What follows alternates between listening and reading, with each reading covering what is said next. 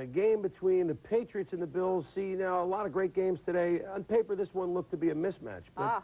but the Patriots have different ideas. Yeah, they've been playing tough, and you didn't think that it, they would play the Bills tough at home because the Bills, of course, going for their great there. 16th straight win at Rich Stadium. But after upsets over Houston and Minnesota and a near upset over Denver last week, the Patriots were a handful for the Bills at Rich Stadium, no less. And you know the Bills like to move the field, move down quickly. They have the lowest average time possession in the league. But I tell you what, they were trying to hang on to that ball in the latter moments of this ball game. Was, as we take a look at what was going on at Rich Stadium.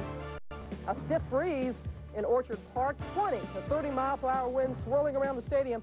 The Pats were able to move the ball with that man, Leonard Russell. He finds the seam, and into the Bills' secondary he goes for 19 yards before being driven out of bounds. The second quarter, same drive, third and eight. Hugh Millen feels the pressure, goes down. The Pat drive stalls Leonard Smith on the safety blitz. On comes Jason Staurovsky. His 35-yard field goal is wide left. Pats trail three zip.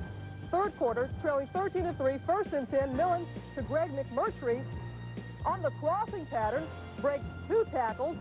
He goes out of bounds after a 28-yard gain. Are on the move, but the drive stalls again. Staurovsky's 39-yard field goal is good, but he's roughed up by Nate Odomes. So then later in the drive, Staurovsky again goes, this time from 35 yards out, and he misses it, TJ. Yeah, and when you're talking about the Bills and that offense, that receiving corps, there's nobody better at the catch and run over the middle of the field than one Andre Reed, and that's why Jim Kelly looks for him all the time. Here, you see him make the nice move, run through a few tackles, doesn't have blazing speed, has that Jerry Rice kind of speed, just enough to get away. Effective, gets the and when job they done. concentrate on him and Lofton, Don Beebe will always get open for you. There he catches a touchdown. 13-3, Bills in the lead, as you see Jim Kelly's numbers on the day. One touchdown, two interceptions. Shawn McCarthy may never have a bigger day punting the ball. With today's win, this one gets a most favorable roll with a little help from his teammates. Goes for 63 yards out at the three-yard line in the third quarter from his end zone with the win at McCarthy's back. A booming kick over Al Edwards' head. It keeps going and going and going down at the one, 93 yards, the third longest in NFL history, a team record for the Pats, you better believe it. Fourth quarter, 16 to 10, Buffalo in the lead, third and one, Thurman Thomas. Couple of nifty moves, and he's in for the score. From 14 yards out he goes, 22-10, Bills in the lead, but the Pats did not give up. Al Edwards calls for the fair catch, fumbles.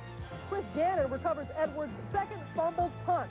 Pats back in it with 7.34 to go. Second and goal. Leonard Russell finished off the drive with a three-yard touchdown run. It's 22-17. 50 seconds to go. I don't know why Jim Kelly is passing. It's picked off by Jerome Henderson. The Pats are alive again. First and 10. 46 seconds to go. Millen to Irving Fryar. Complete for 18 yards. He can't get out of bounds. Shades of Denver last week. Millen hurries up from midfield. 25 seconds to go. Millen looking for McMurtry. It's deflected off his hands, intercepted by Darryl Talley.